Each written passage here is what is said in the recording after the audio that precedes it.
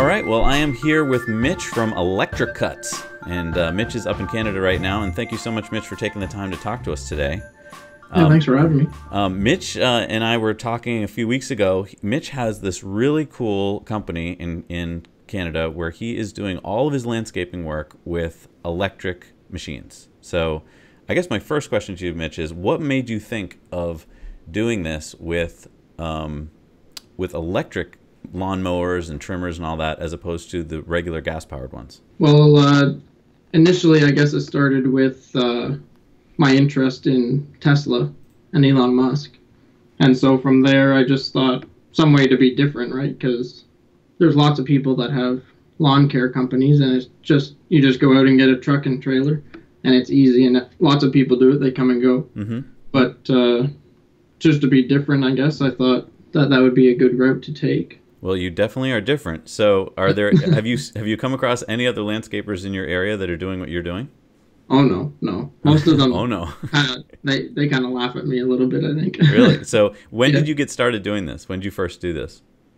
Um, well, I first started the lawn care part of it in 2014, so it's been a few years. Okay. Uh, basically, just after I had graduated from college. Okay. And then and, when uh, when in, when you first started, were you electric then? Yep. Okay, yep. so from the very beginning, and so um, did you know your first customers were they like ah, I don't know if I want to go with an electric lawnmower company, or, or no, did I they think, care? I think they initially they just needed their lawn cut right, so they didn't really care whether it was gas or electric. It made no difference to them as long as the job was done. But uh, I think one of the advantages was uh, that I was able to start originally with electric. Yeah, I think it would be a lot harder for a company who has already invested all the money into the gasoline equipment to be able to switch over. So it's kind of an advantage that I was just starting just when it was becoming viable to do it all electric, right?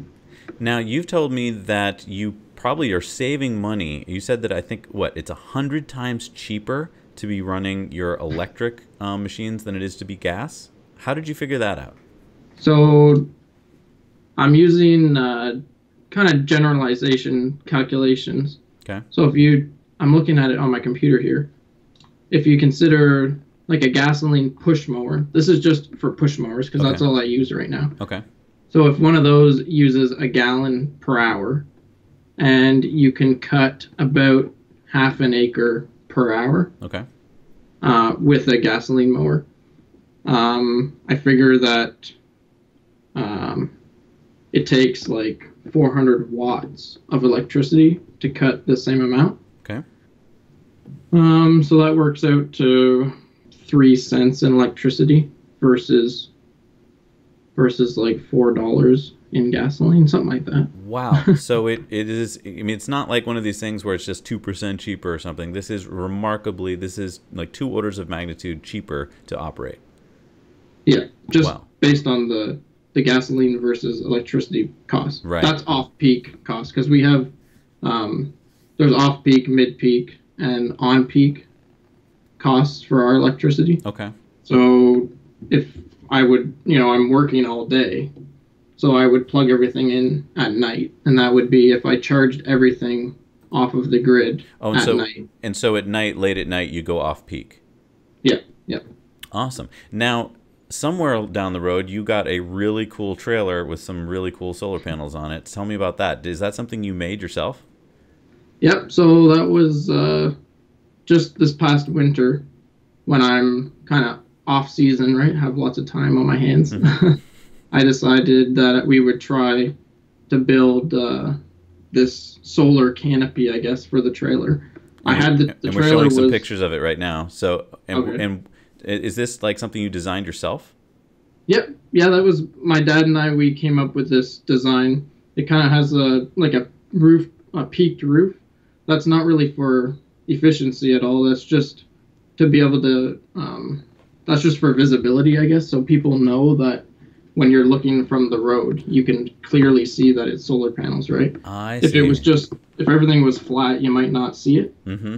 So that's kind of a marketing thing that we came up with, and I guess it is having the peak like that is more structurally like it's stronger for the structure. But uh, yeah, it worked out. We put the frame together, and uh, the the solar panels are just from Canadian Tire. It's like a, a department store that we have here, Okay. and uh, so they're not like any sort of fancy solar panels or anything. But the uh, the whole system, yeah, it came together really well, and it's been working amazingly well. It was sort of an experiment to begin with, but uh, yeah, it's working better than I could have imagined. So the solar panels are attached to an inverter, I assume.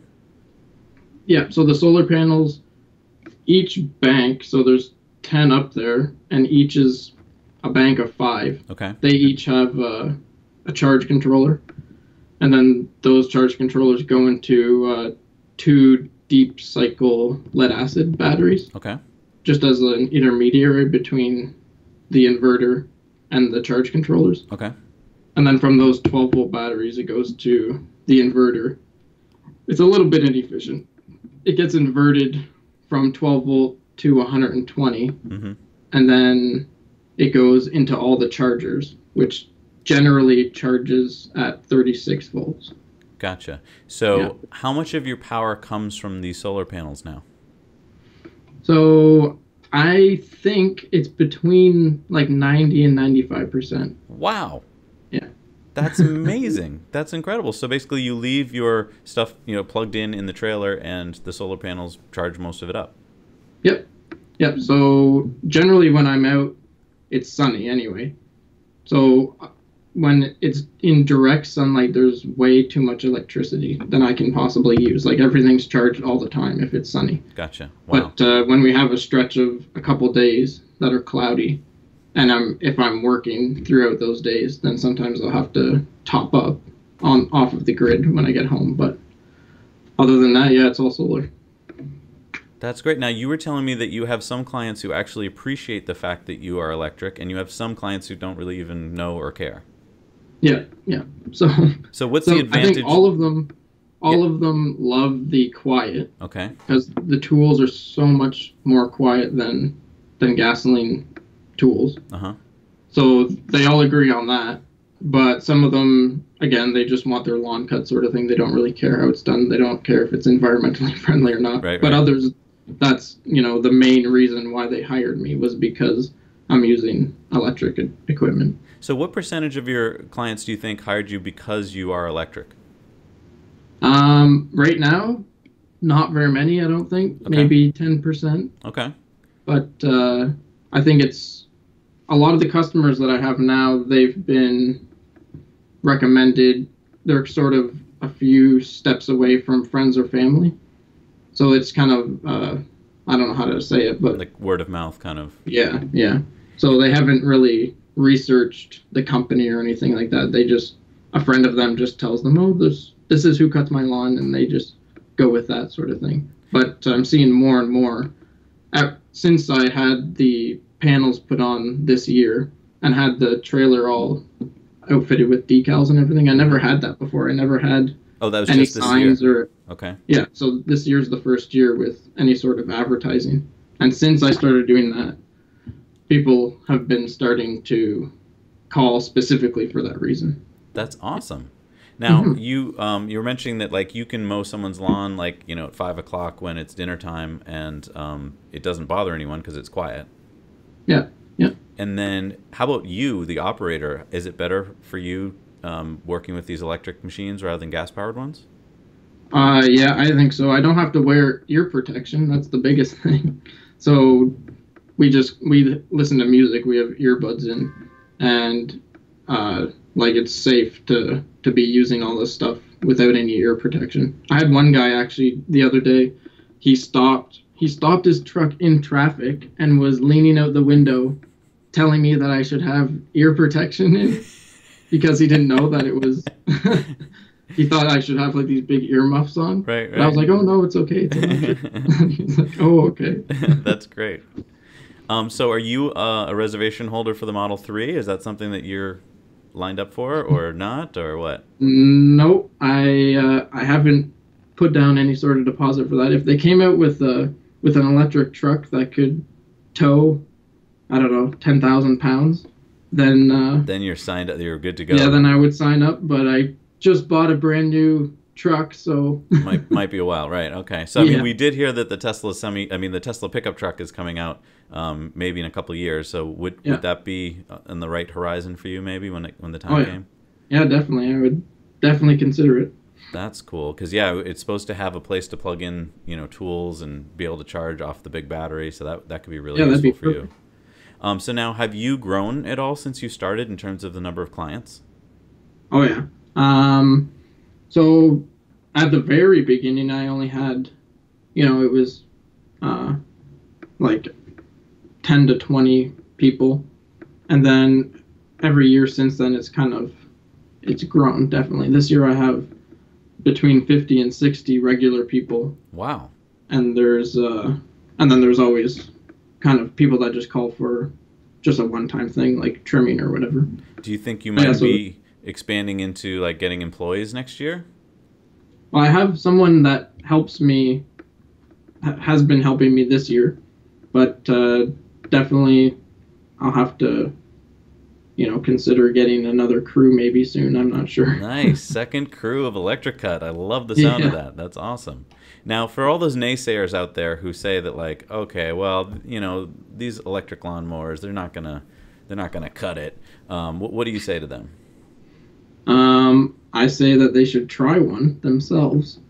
I think they would be pleasantly surprised if they were to try one themselves.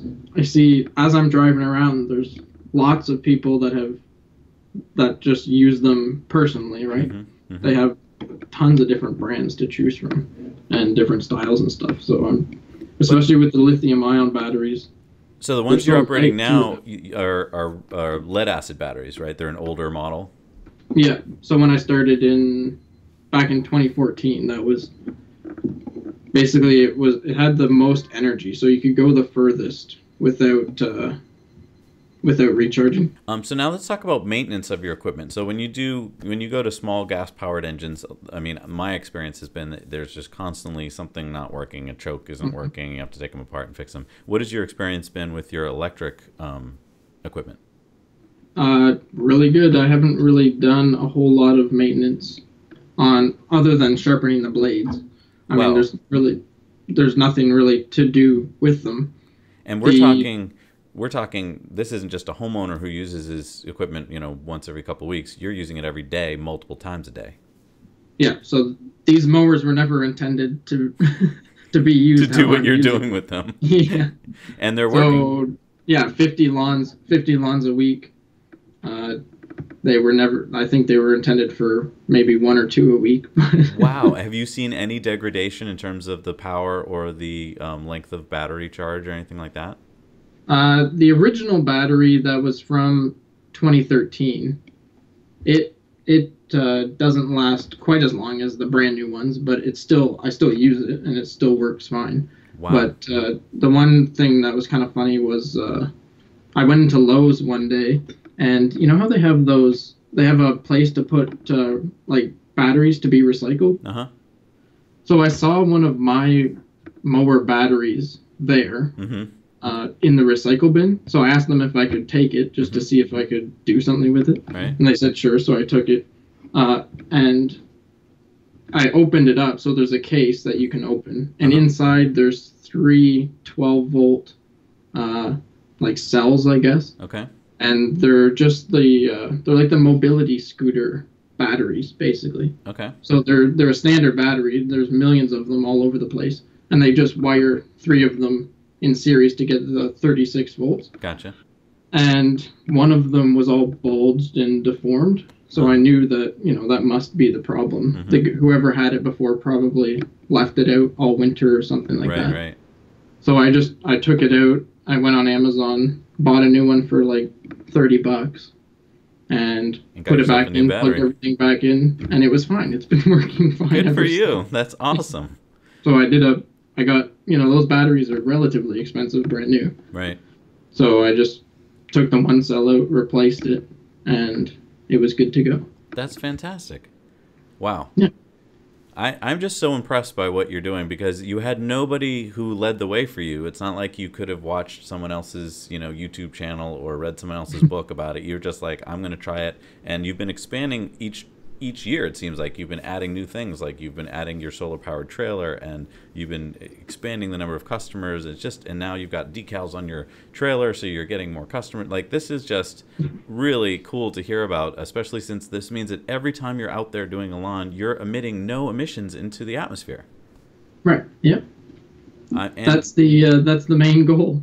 That's so cool. I guess i'm surprised because i thought that you know, we down here in the U.S. we we think that you Canadians are just so green, and I we, I kind of thought that all your customers would be because you were electric. But it's it's funny to hear that they just want their lawns cut, and you can do that. Um, and as long as you can do that, they don't care if it's electric or gas. Yep. Well, in Sarnia, um, we have a a big oil refinery presence, ah. so a lot of uh, a lot of the industry here is based around the oil refineries. Interesting. So there's lots of people that you know they drive big trucks and they. Not saying that I don't, but right, right. Some people are less concerned about the environment than others, I guess. Right. Wow, it's just it's just really great to hear about your story, and it's really great to get the word out to other people um, who are either in your area and can hire you, or to other people who might have the same idea, who might be on the other side of the world and want to start a company of, of whatever type and run it off electricity instead of gas. Yeah, for sure. Wow. Well, thank you so much for talking to me today and uh, sharing your story. That and and thank you for this awesome drone footage that you got of you at work. um, this is it's really fun to see you working with these electric tools and to hear that they they really do work year in year out. Yep. Thanks for having me. All right. It was so good meeting you, Mitch. You too. Thanks. Bye. bye bye. Hey guys, it's Bobby from Now You Know, and thank you so much for watching this episode. We loved interviewing Mitch from Electricut. We've left a link in the description below to his website so you can check out his company and all he does. He's really cool, he's got a lot of cool things going on, so definitely go uh, check him out. Also, make sure to subscribe for more videos like this. We do a lot of videos on Tesla. Me and uh, my coworker Brent do some video editing videos, so that's pretty fun. So yeah, Make sure you leave a like, leave a comment. Thank you, Mitch. Now you know.